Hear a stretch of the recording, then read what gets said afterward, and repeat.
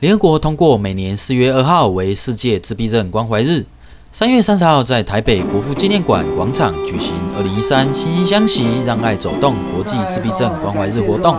社团法人台东县自闭症协进会带领十个家庭、三十七位家长与小朋友特别到场参加，让家长与小朋友透过文化交流来提升对社会的适应。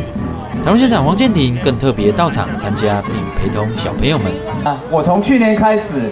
也开办了国小的呃学前准备班，好，让我们很多的孩子啊可以先到那边去适应，也收到很好的成效。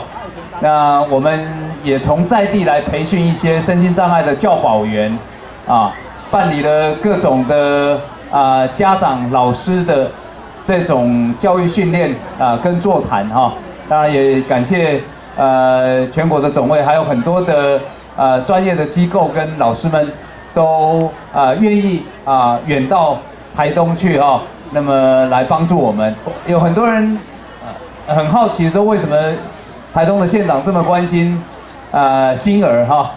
因为要跟大家报告，我自己的老大也是一个高功高功能的自闭儿啊。其实我也是新爸了哈，所以我想我要谢谢他教会我怎么样对待。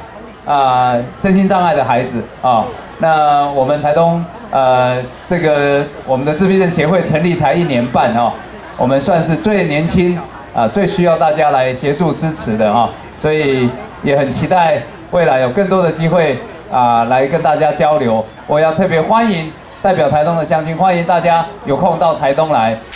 在教育部的支持，一百零二年八月，台东新建的特教学校也即将完工。未来也将有两百多位中重度的孩子将得到更好的照顾。东南新闻综合报道。